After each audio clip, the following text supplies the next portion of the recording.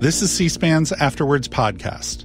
This week, Robert Woodson, author of Red, White, and Black Rescuing American History from Revisionists and Race Hustlers, discusses how American history is being replaced with a polarizing version. He's interviewed by Harvard Law professor and author Randall Kennedy. I look forward very much to our discussion of your book, Red, White, and Black Rescuing American History from Revisionists and Race Hustlers. Why don't we begin by your telling the audience what you are offering in this book and why they should want it? Well, we were wrote this in response to the New York Times uh, publication of 1619, a series of essays by Black journalists and others, led by Nikole Hannah-Jones, where in, in essence it redefined America's birthday from 1776 to 1619 uh, at the, the time when slaves, 21st, 20 slaves first arrived on the shores of Virginia. And it goes on to say that the Revolutionary War was fought to defend slavery. Uh, it also made other false claims, but it also tried to redefine America as systemically racist and that all whites are villains uh, to to be, and, and that all blacks are, are victims. And uh, it offers a very dire uh, uh, picture of the country. It also makes the false claims that uh, the current uh, con- challenges facing many in the black community today out of wedlock birth crime are a direct legacy of, of the shadow of slavery and Jim Crow.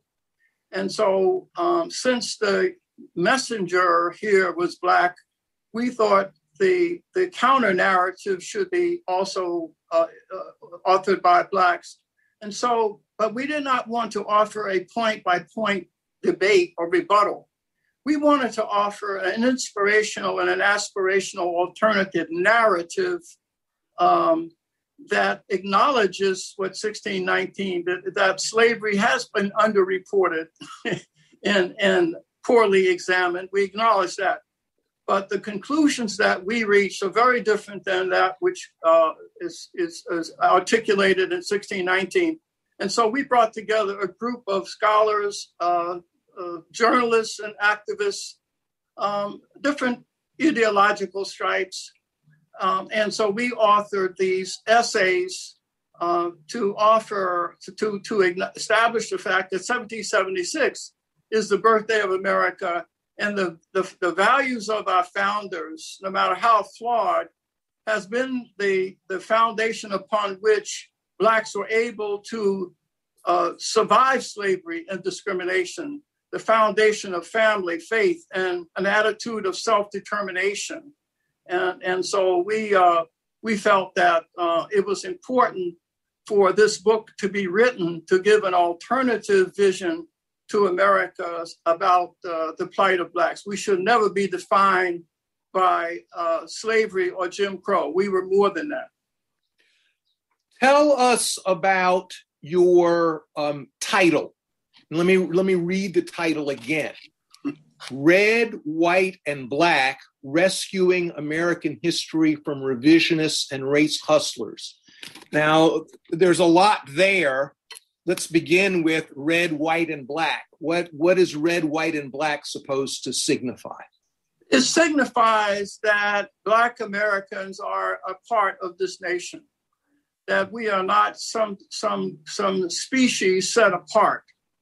And therefore, um, we, we claim this heritage and Blacks fought in every war in the country and died. Uh, my father was a veteran of the First World War and died as a result of war related wounds. So we're supposed to signify that America, that Black Americans are an integral part of this nation and deserve to be so. But we also know that there have been people who have profited off of racial grievance. In, and, and uh, in fact, I left the civil rights movement in the 60s because I believe that a lot of those who suffered and sacrificed most did not benefit from the change.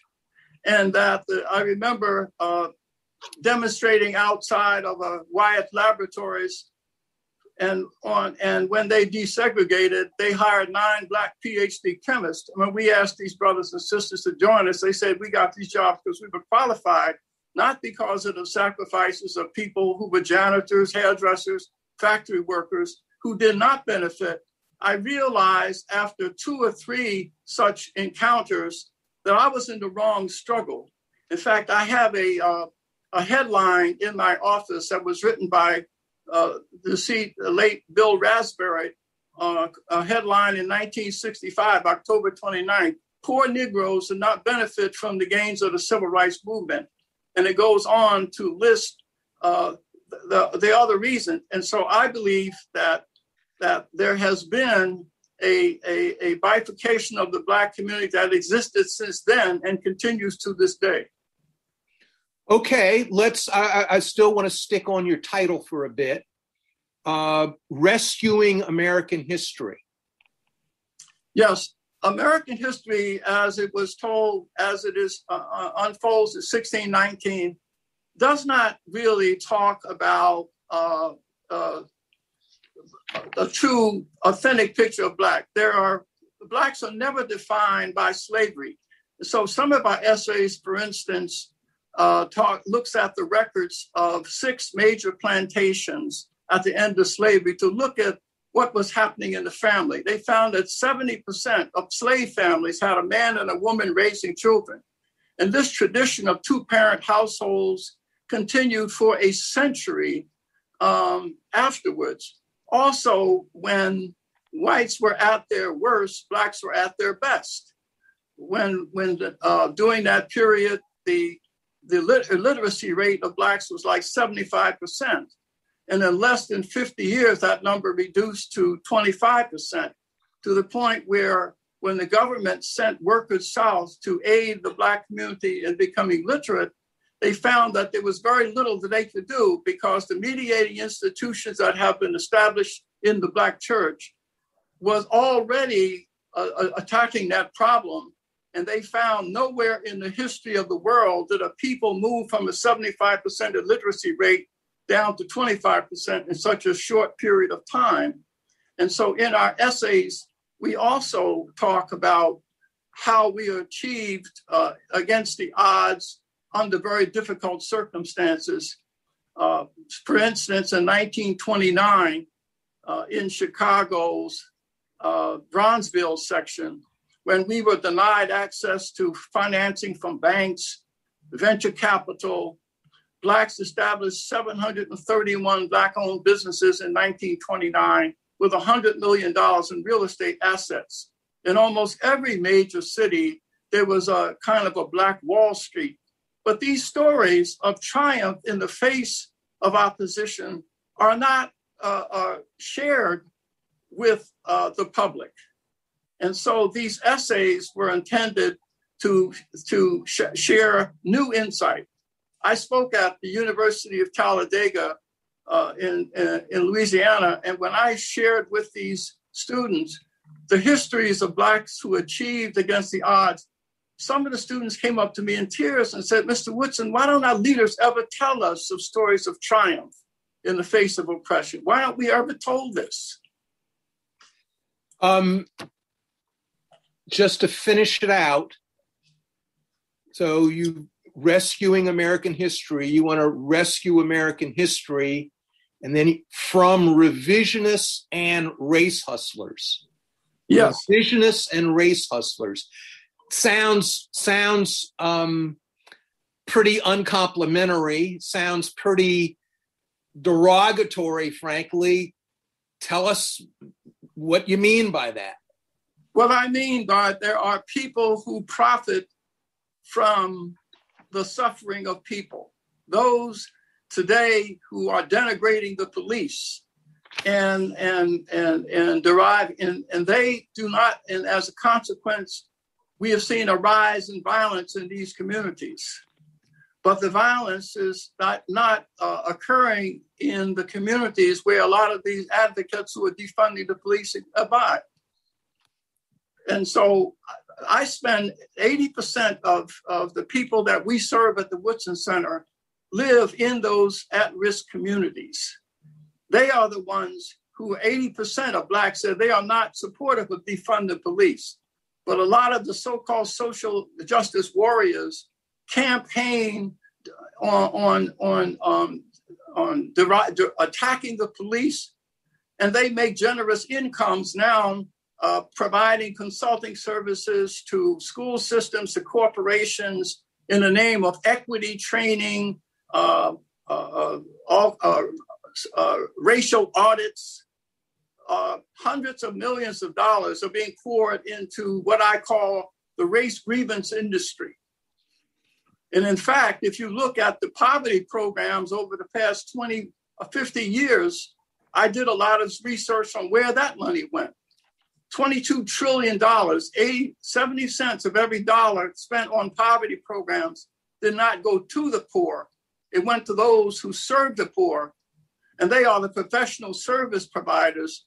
So we created a commodity out of poor people where the question is which problems are fundable, not which ones are, are, are solvable. So, so that's why after $22 trillion Blacks running these major urban centers, running these programs. Why do we have the deterioration of these cities if, if, the, if poverty and race were the solution? Then why, in the face of $22 trillion expended, Blacks running most of those systems that are failing, then they, obviously just concentrating on race is not the answer. Now, just a moment ago, and in the book, um, you talk about race grievance, and you you talk about the perpetrators of race grievance. And Mike, I, are there circumstances in which voicing a racial grievance is the right thing to do? Absolutely. Okay. Absolutely. I fought in the civil rights movement when they were legitimate racial issues. You know, I've been to jail. I know what that's like. I lived in the segregated South and I was in the military. I have 12 credits from the University of Miami when I could not walk on the campus because of segregation. And we and and what we demanded then, and also I know that if a black committed a crime against another black in the South, often they weren't even punished for it. And we said that that diminished black life. But if a black committed a crime against a white person, they would be treated severely. So we wanted to even the playing field. We said we should be judged by a single standard of justice. And that's what we fought for. But now this is changing to the point where when, when uh, uh, 8,000 blacks are killing other blacks, and we don't, there's no outrage. But when 18 blacks are killed by, like in George Floyd's case, we treat it as if it's a, an epidemic and there's out, outrage and, and about it. And as a consequence, it means that we then we say that the police departments are an extension of, of white supremacy, and now uh, we vilify them, and as a consequence, they step back. But but but a lot of the so-called leaders they live in secure communities. They live in buildings where there's security or gated communities. So they many of the people who are advocating uh, defund the police and vilifying them don't have to live with the consequence of their advocacy now um, you you indicated in your in your last answer you're a person who lived, you know, a substantial part of your life under Jim Crow segregation. If you're from the deep South, you have seen up close racial oppression. Yes. Okay. Now, and and in your book, in your book, uh, your you know your your opening essay, there are places you you you say, listen. I'll just read you say slavery and discrimination undeniably are a tragic part of our nation's history. And, and, and in other places, you, you, you say that. Um, do you think that that part of the story, that part of the American chronicle, do you think that that part of the story is underplayed? I mean, you absolutely okay, absolutely. Well, el- elaborate. I mean, I mean what I, circumstances I, today is that really underplayed? Think, yeah, we need to tell the complete story of the horrors of slavery, of the horrors of discrimination. We need to tell that story. But I but I believe that conditions that existed then are not the conditions that exist now. Okay. I give the example in my talk sometime about a farmer coming to a stream pulling uh, with his mule intact. And they get to that stream and it's three feet high, going at 20 miles an hour and he pulls him in and they get washed down the stream. They come to the same place a year later. The stream is six inches, but the mule refuses to go in because the mule has good memory but poor judgment. Many of us have good memories and we act as if conditions have not improved since the 60s. And so we, we, we, we engage in uh, uh, strategies where we are uh, acting as if conditions have not improved that our strategic position should adjust to our strategic uh, circumstance. And that's not happening. Okay, but I mean, I can imagine someone saying, listen, don't, don't we need to distinguish between what one thinks would be useful, prudent, you know, productive policy today, race policy and you know, social policy in general, I can imagine somebody saying that, you know, that's one conversation. The conversation about history, though they overlap, it, it, it, it's still an independent issue. And I can imagine someone saying, with respect to American history, it is still the case that too many Americans, particularly white Americans, are not sufficiently educated about some of the aspects that you just talked about. We again, we don't need to go back to slavery. We can, you know, we don't have to go back that far. We can go back to subjects which are in your lifetime. Yeah, you know, I, what would you say to the person who said, "Listen, our beef is that too many people do not know that, you know, in 1941 black people didn't even have the right to fight for democracy and what we want is for, you know, our educational system to more fully educate everybody about the fullness of American history. It's good sides, but it's ugly sides too. What would you say to that person? Absolutely. I would say we need to do it, but we also need to say to ourselves that we are not defined solely by external barriers. Okay. That and it's it's dangerous and, and I think lethal to say to young people today that if you are dropping out of school, it's not your fault. If you are carrying guns and destroying one, it's not your fault. If you're having children out of wedlock and not caring for, it's not your fault. There's nothing more lethal than com- telling a person that they are exempt from any personal responsibility. And many of the people who are supposed to be social justice advocates and progressives continue this drumbeat of saying to young blacks that they are not responsible until white people change the little you can expect your life to improve. Mm-hmm. And, and that puts the onus on white people to determine the agency of black people.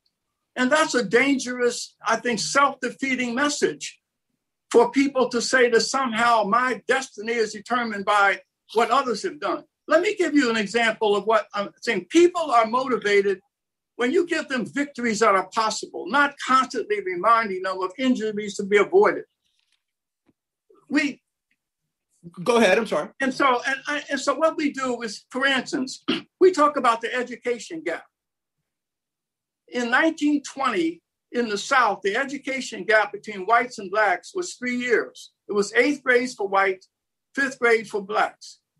Okay, what was our response? Julius Rosenwald partnered with Booker T. Washington in an essay we have, and they built 5,000 Rosenwald Booker T schools. Book, uh, Rosenwald put up half the money, 4 million, and blacks raised the other 4 million, and they participated. As a consequence of the the Rosenwald schools, in 1940, the education gap closed within six months. If we were able to close it when, when our classrooms were crowded, we would have used textbooks and half the budgets of white schools. If we were able to accomplish this closing of the education gap in the midst of virulent racism, when racism was enshrined in law, the question is why can't we do it today in institutions run by our own people for the past 40 years with the per capita expenditures as high as it is for an education? Isn't don't don't we deserve a right to have these questions at least discussed? Now, it seems to me there's a paradox in what you just said, because on the one hand, you're very much in the um, the school of, of, of, of Black history in which I was socialized. I associated with people like Carter G. Woodson and um, uh, you know people who focused on you know what we've done, what we've been able to overcome. You know, first. So you know, you get your Ebony magazine, and every month they'd have you know the first this, the first that, telling people about what we have been able to accomplish. And I think there's a lot of good to that. Here's here's here's a question I have for you though.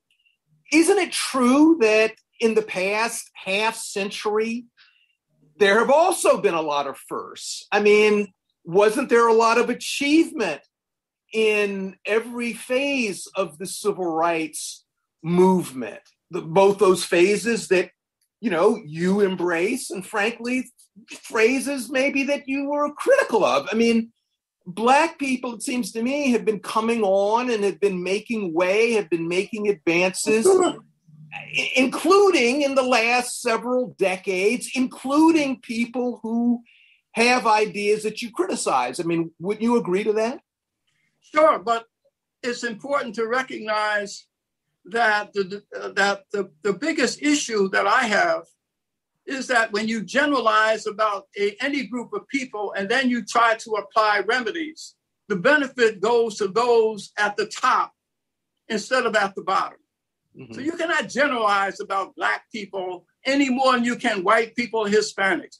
And when you do, I'll give you an example right now. When Coca-Cola in its uh, in its gestures towards uh, uh, uh, responding to a charge of institutional racism. So, what is the remedy uh, that Coca Cola and other companies propose? Making certain that a third of all of the attorneys who serve the company are Black. Uh, Twitter, all those other companies. Tell me how the hell that helps some Black woman on public assistance living in public housing. How does it do that?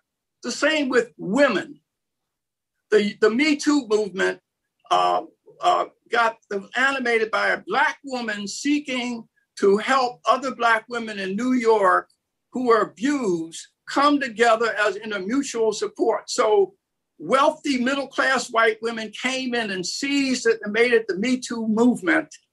And now the concentration is on some white woman, you know, getting abused on the casting couch in Hollywood. And so, what are the remedies for that? Well, women. We will, uh, in California, women will be required to be serving on boards of directors. Women who will be in corporate uh, position. Tell me now how that helps the thousands of Black and Hispanic women that are in our prisons or in our communities. But we have just has an agenda to help women and so, as long as we focus on groups, you, we will not help the people that I care about most, and that is the least of God's children. And, and the other uh, problem with focusing on race is that when evil wears a black face, it does not get challenged. I'll give you an example. Geraldo Rivera, several years ago, did a two hour documentary on sexual abuse of women in prisons. Every one of the victimizers he interviewed were Black. Every one of the victims were Black. It didn't even provoke a single day of discussion. Not a single day. Because evil has to wear a white face before it attracts any attention. And as long as that continues, it's always going to be detrimental to. That's why I think we ought to be emphasizing upward mobility of low income people instead of looking at life through the prism of race, because it means people like you and me will benefit. And people who are look like us in, in these high crime, drug infested neighborhoods, they will not benefit. But we can walk around all proud and, and look at what accomplished we've accomplished, but it's coming at the expense of others in that community. No, one of the things that's interesting about what you just said and what you just said, you accentuate very much at the very end of the introduction to the book. You quote Adolph Reed. And you quote Adolph Reed, and Adolph, he, he says, um, Identity is very much the ideology of the professional management class. They prefer to talk about identity over capitalism and the inequities of capitalism. We have an atrocious wealth gap in this country.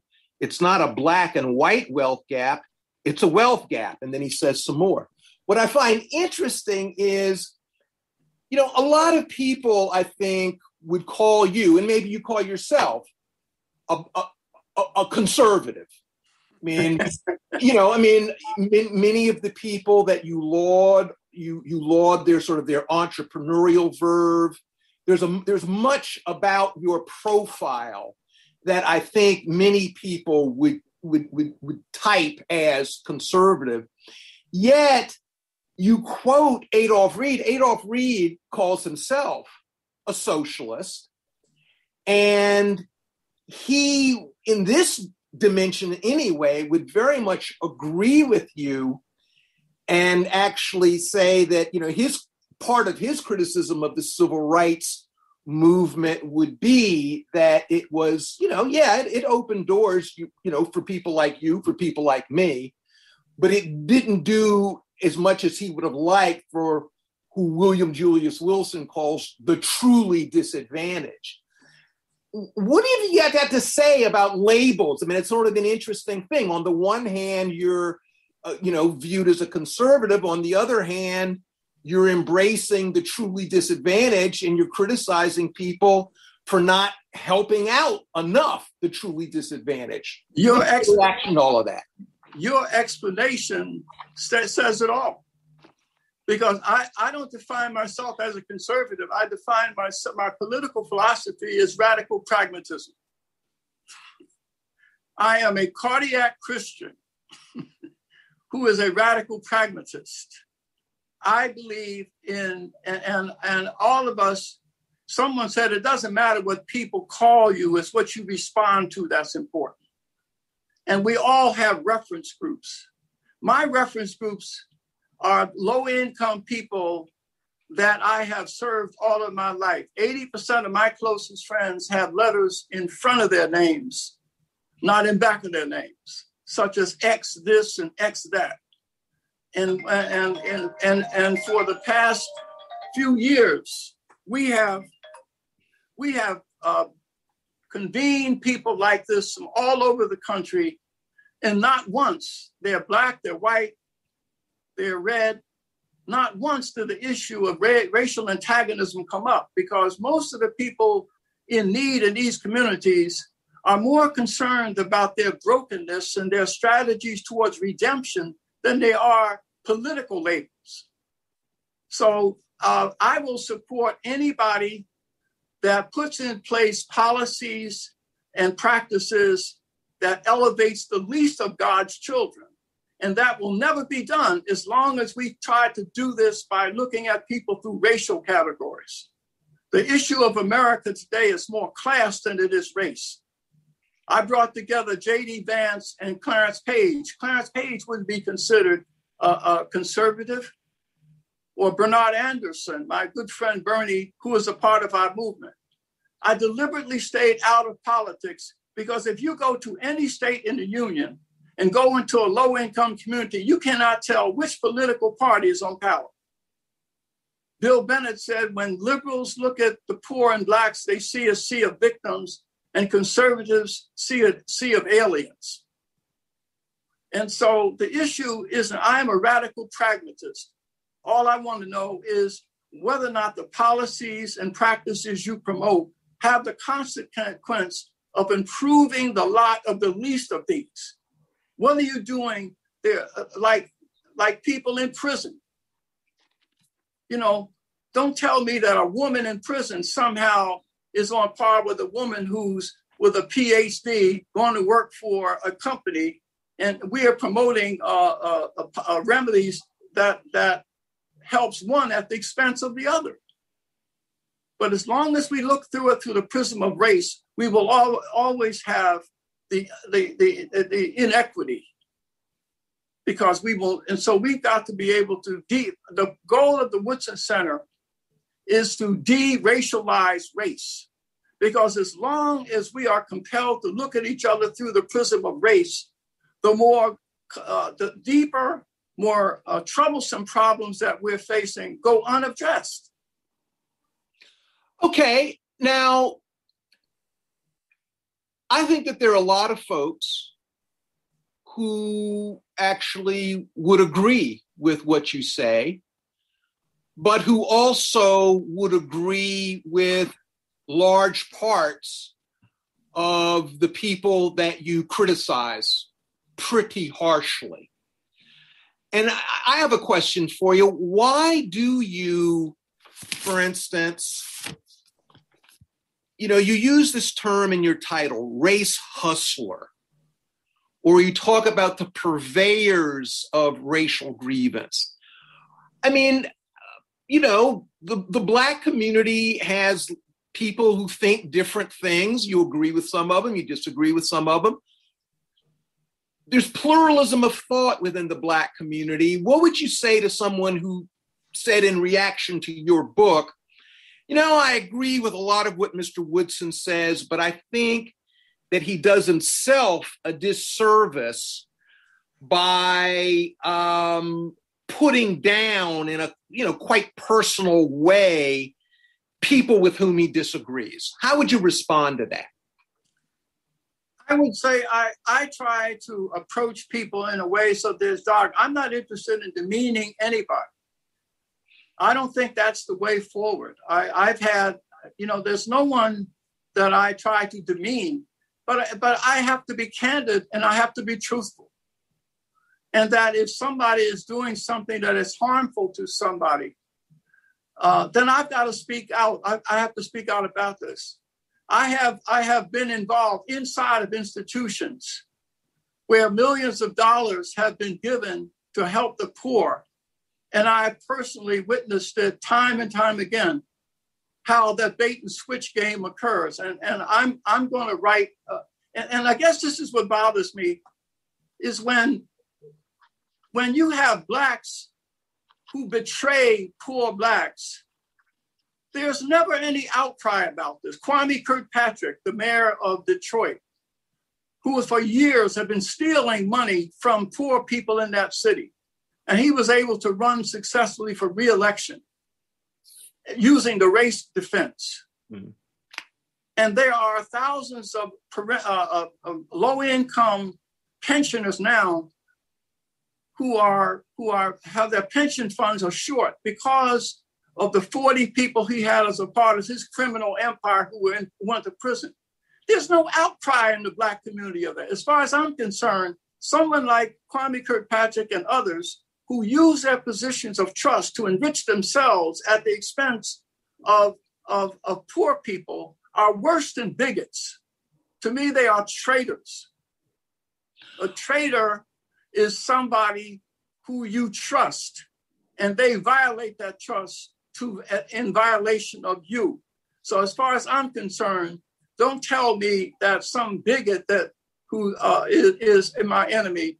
I would say the, the greater enemy is people you trust who violate that trust. That's what, so that if, if, if that offends people, then so be it. Okay, but I mean, the, the, example that you just used was the example of a person who, you know, I mean, he committed crimes. He was he was a person who was deceptive and and and, and stealing for goodness sakes. He was corrupt. Um, and so that, that, that's not the sort of thing I was thinking about. What I was thinking about, let me let me tell you, uh, Mr. Woodson. So I'm going to go autobiographical here. My father, my father, Henry H. Kennedy Sr., was a man from uh, Louisiana. He was born in 1917. He saw, you know, the horrors of racial oppression in the Deep South.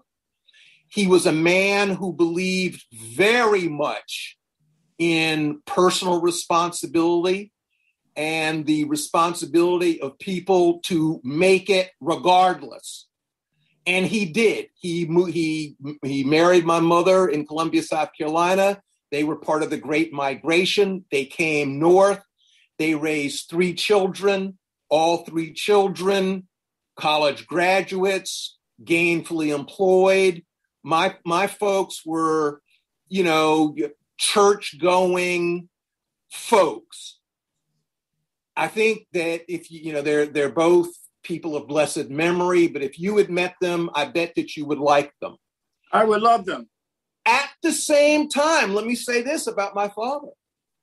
My father never forgave the United States of America for what he viewed as its betrayal of black people. And for him, I think that the sort of the the place where this crystallized, he was a soldier. He was a soldier during World War II, and he saw the United States of America betray Black people in uniform, and he never got over that. Now, I'm not saying that he, I'm not, I'm not saying that he was right. I'm not saying that he was wrong. I'm simply saying that's what he thought. And what I, I'm, and I'm saying that he, see, there's, there's elements of what you say in which you two would be high fiving but there's also elements in what he believed that is very much in sync with the 1619 project and the, and the people that you're criticizing. So, I mean, Black America is very pluralistic, you know, and so what do we do? Okay, but let me let's let's just spend the rest of this time talking about solutions because I didn't write the book. We didn't do this as a confrontational instrument. Okay. We did it. We did it to say to people, like, did you see the movie um, uh, Hidden Hidden Figures? Right? Yes, yes. You remember that I was in the space program, flying test control. There was a moment in there when Kathleen Johnson said, "We're looking for how do you move from an elliptical orbit to a, hyper, a hyperbolic orbit." She said, "Maybe we're looking in the wrong place." She went back and got a book on Euclidean geometry and applied it. So maybe we need to go back and look at what we did successfully under worse conditions to, for a clue as to how we can apply some of those old values to a new reality. So, what the Woodson Center is proposing is that we need to call a moratorium on whining about white folks. And let's come together and learn from how we were able to build hotels uh, in or, or 100 universities and schools back then. How uh, 20 blacks were born slaves and died millionaires. Robert Smalls even went back and purchased a plantation on which he was a slave and took in the family of the slave master as an act of radical grace. And there are other examples. Your dad lived by the principles that, but despite his feelings, that's what we're talking about. So, the, what we wrote these essays to inspire people to to use it as a, as a foundation to rebuild our community. That's what we want to do, not to engage in a debate about whether, no, we ought to be coming together and talk about how we can rebuild. The leading cause of death among kids in this inner city is homicide. In Appalachia, the leading cause of death is uh, prescription drugs. In Silicon Valley, the teenage suicide rate is six times the national average. So, what we're going to be doing, we have 2,500 Black mothers, voices of Black mothers who lost their children to urban violence. They are supportive of the police. They're come together for mutual aid and support. We are going to bring them together with those Appalachian mothers and also with the mothers from from um, Silicon Valley. But we but and so that we can discuss strategies to fill that empty hole in the hearts of our children that is causing them to devalue life to the point where they want to take their own or take someone else's.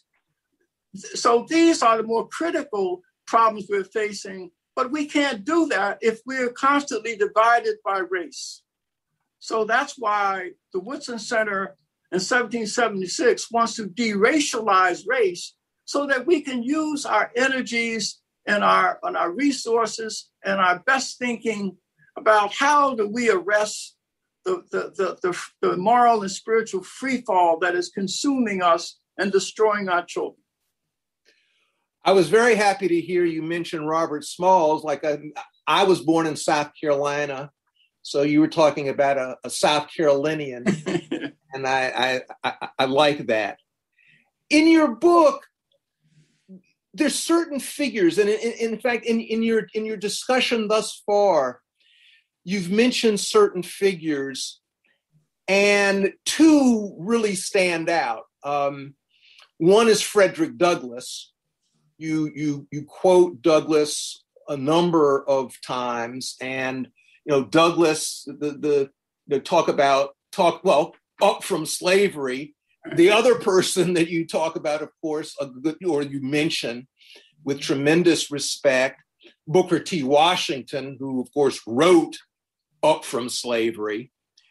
Um, who are others, let's say in the post World War II era, since 1945?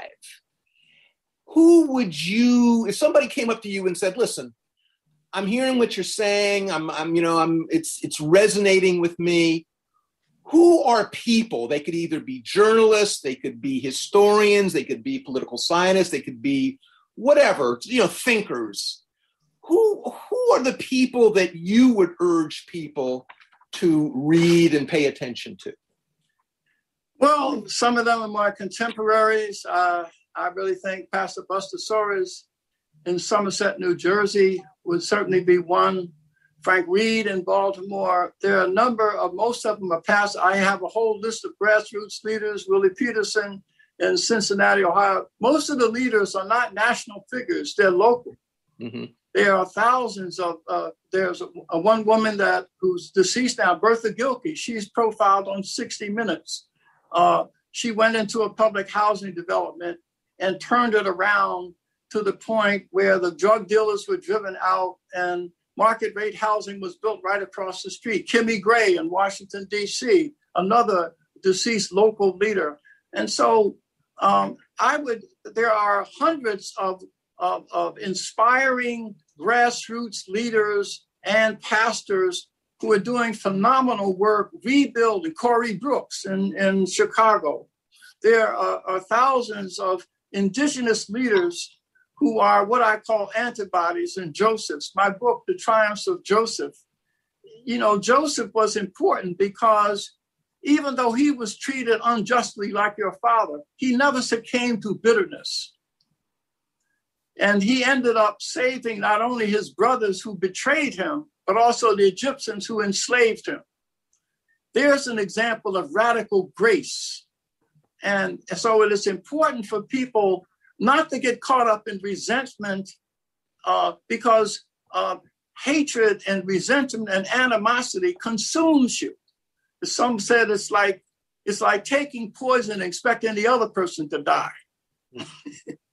and so what we're trying to emphasize in this book, we wanted to inspire people to come together to look beyond race and focus more on upward mobility of those at the bottom and just use our talents uh, instead of always fighting each other or well, I don't want to engage in the tribal warfare that is existing today.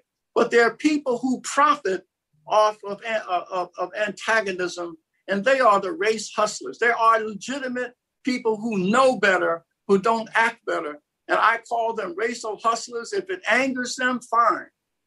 But if it provokes this kind of discussion, then I've accomplished something.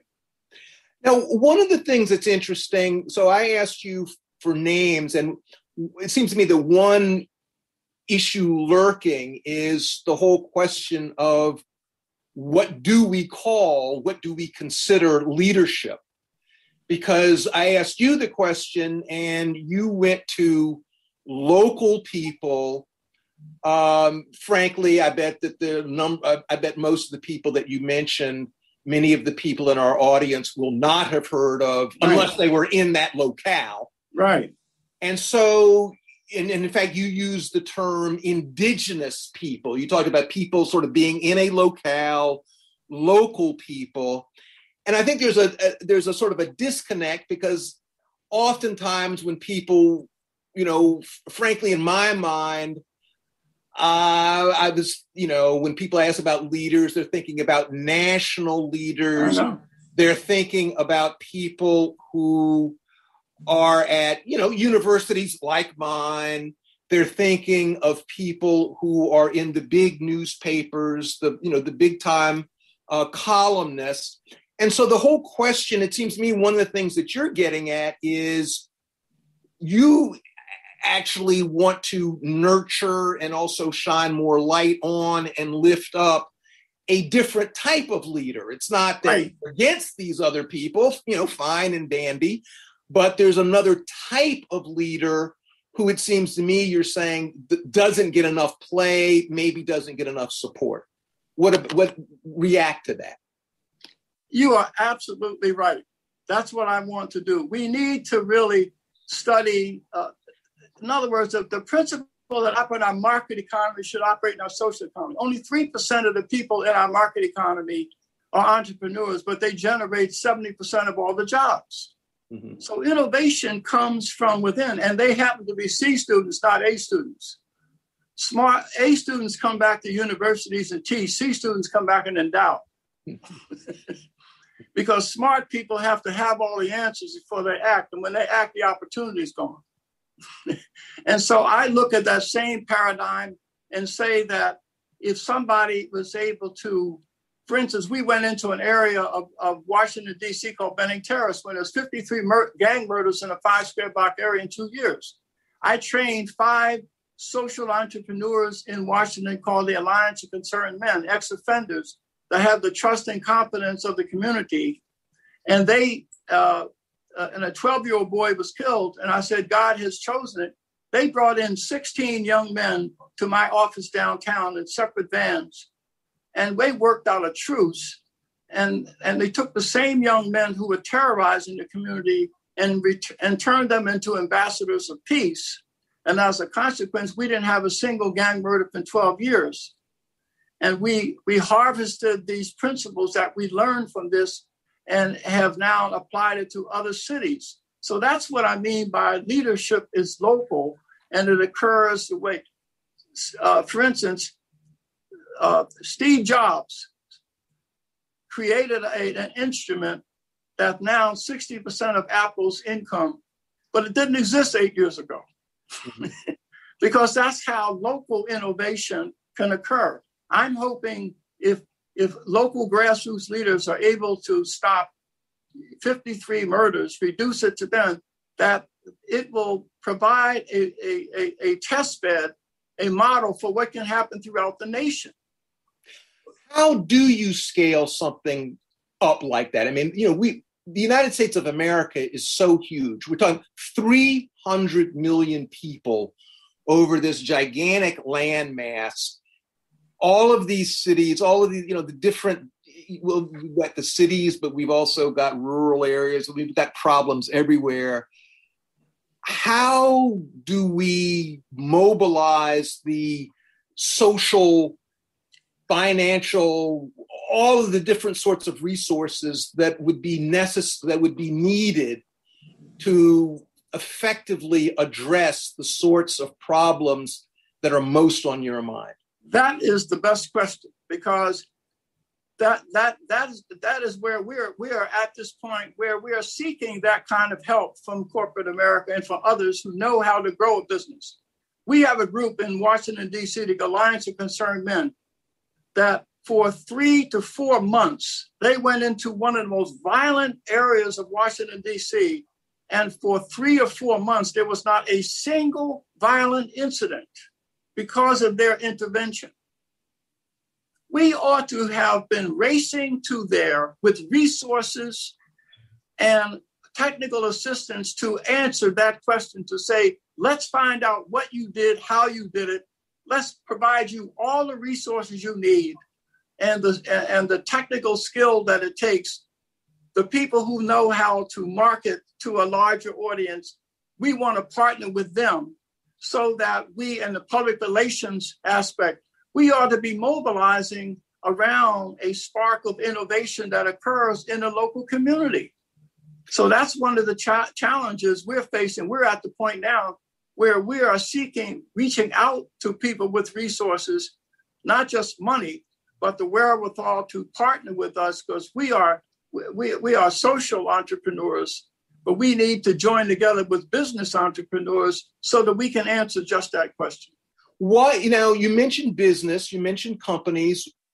What about government? government, as far as I'm concerned, got us in this mess. but uh, government does have a role, but not a leading role. Because in order for entrepreneurs to function in these social, you need the maximum amount of flexibility so that you can address that.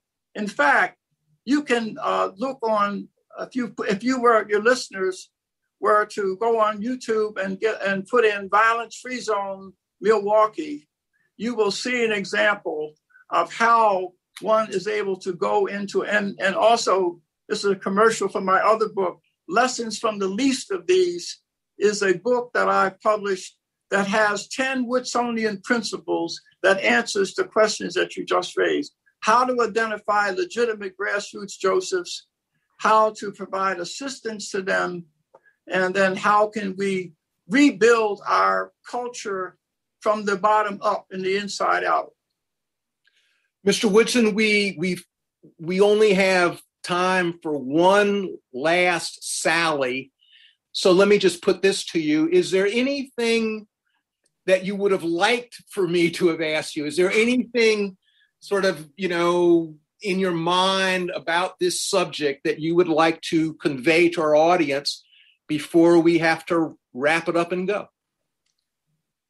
Yes, I, I want to say that there's a real urgency for us to end this racial strife and tribalism because if Blacks are able to play race, so can white people. And I, I, I think that unless we were able to, to push back against this racialization and pushing these limits, it's not going to be long before whites begin to respond in kind.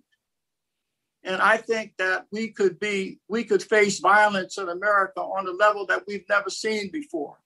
So there's a certain urgency that we have to move beyond race. And I just think there's an urgency to what we are about. Of course, there would be many people who would jump in right now and say, What do you mean? Uh, you know, whites might start using race. Whites have been using race and are using race their whites are not going. You know, it's very interesting. Whenever, and this is where where we we're not truthful. Whenever I hear about an Asian being racially assaulted in California somewhere, and they don't mention the race of the perpetrator, I know it's a black person. 80 to 90% of the attacks on Asians are being done by blacks, but the press will not report that because it does not fit the racial narrative and it's it's a shame that that that that we are we are being misled because there's a is, there's an incentive not to be truthful about what is happening in the country. But whites are not uh, attacking blacks. We are killing our children. They are not coming into our community shooting our children. 90, 94% of the murders being taken are blacks on blacks on that note, and of course, we could go on for hours. This is a huge subject, but thank you very much for this conversation. and I look forward sometime to being able to meet you face to face. I hope so too. And I, you were a good interviewer. Thank you very much. Be well. Same here. Thanks for listening to C-SPAN's Afterwords podcast. Be sure to check out our Q&A podcast for intriguing, hour-long conversations with people who are making things happen. This week, Jessica DuLong talks about her book Saved at the Seawall, which tells the story of the largest and fastest maritime evacuation in history, which happened on September 11, 2001, when over 500,000 people were taken off Manhattan Island by boat. Find it and follow wherever you get your podcasts.